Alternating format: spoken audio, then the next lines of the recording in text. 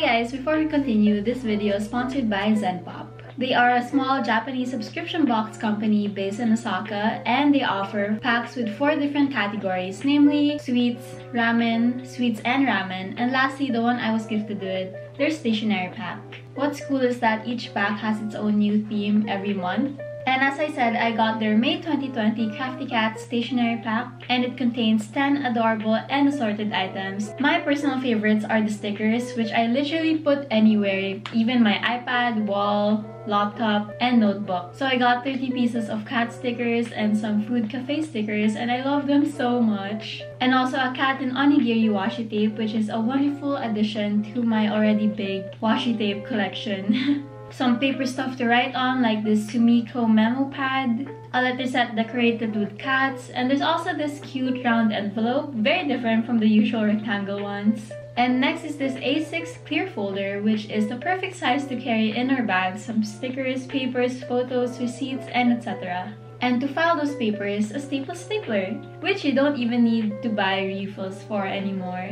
And lastly, some writing instruments like this brush pen, which I actually have and bought in the past. It's clear version for my own watercolors, so thank you Zenpop for gifting me a new one. And this mechanical pencil, which sharpens its lead on its own. So if you guys are interested, you can click the link I put in the description box and use my promo code ALYANNA for $3 off your first stationery pack. Also, they have different subscription plans, so you can either get a 1, 3, 6, 12 month plan based on your liking, and they offer worldwide shipping. So yeah, thank you again Zenpop for sponsoring today's video. Back to the video. It's 11 p.m. and I just decided I'm gonna film. So basically this is like an organize my room with me. My room is so freaking messy and I never take the time to clean it or organize it anymore because it's always just one task after another. There's no boundaries, man, between work and rest. So here's my room, guys. Oh, it's so damn freaking unorganized. Oh my gosh, I get so just so messy. That's been here the whole day and I'm too lazy to put it down. it's kinda okay, but look at and then here whatever. This is like PR package. And I haven't really disinfected it so it's just there. Oh whatever. Look my bags like I'm too lazy to put it inside. And like disinfecting it before putting it inside. And then there I don't know what's happening there.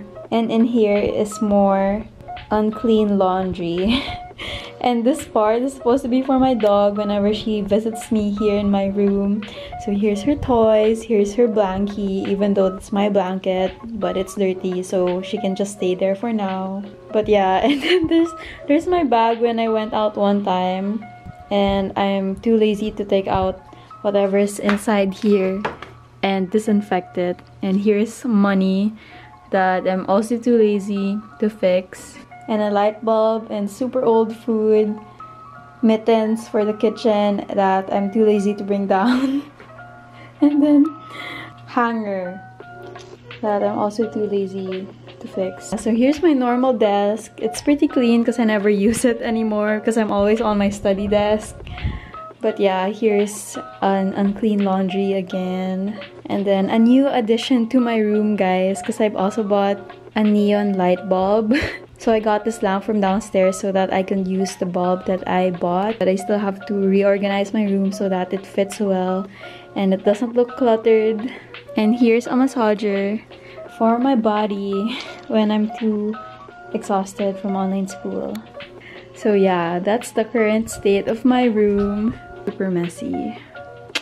Right now it's Friday, let's spend the weekend fixing my room in such a way that it's efficient for me to study in.